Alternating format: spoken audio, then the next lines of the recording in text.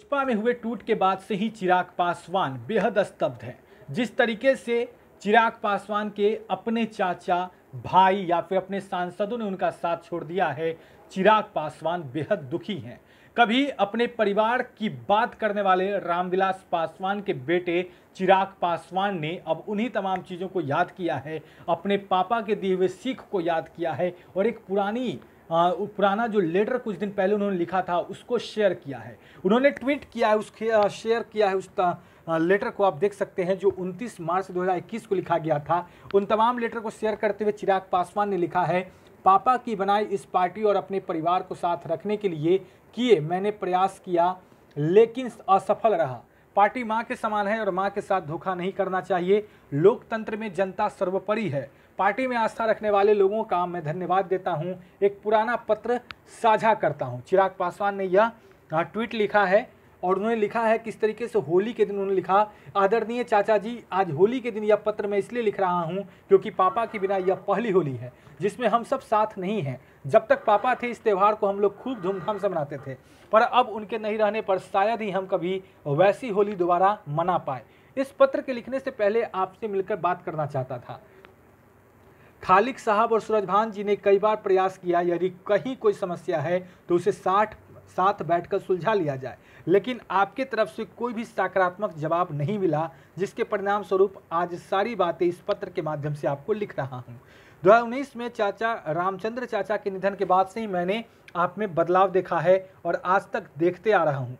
चाचा के निधन के बाद प्रिंस की ज़िम्मेदारी चाची ने मुझे दे दी और कहा कि आज से मैं ही प्रिंस के लिए पिता समान हूँ।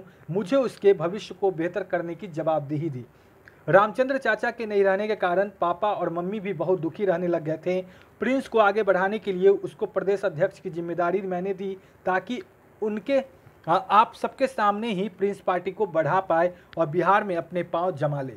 मेरे इस फैसले से सभी लोग खुश हुए, मुझे विश्वास था कि प्रिंस को मिली नई ज़िम्मेदारी से आप भी संतुष्ट होंगे और प्रिंस के लिए खुश होंगे। परंतु उस वक्त मुझे पीड़ा हुई जब आप इस फैसले के विरोध में नाराज़ हो गए और आपने प्रिंस को नई ज़िम्मेदारी के लिए उसे शुभकामना देना भी उचित नहीं समझा।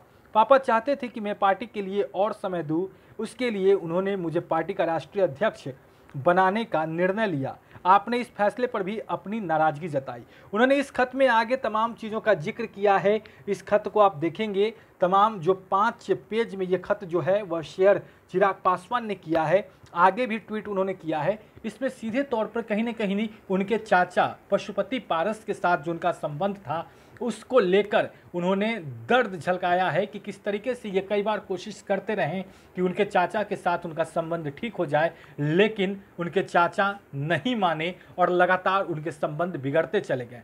प्रिंस राज, जो कि फ़िलहाल समस्तीपुर से लोकसभा के सांसद हैं उन्हें स्थापित करने की भी बात चिराग पासवान ने कही। रामचंद्र पासवान जो कि प्रिंस राज के पिता थे रामविलास पासवान के छोटे भाई थे उनके निधन के बाद से ही पा, पशुपति पारस में बदलाव की बात चिराग पासवान कर रहे हैं।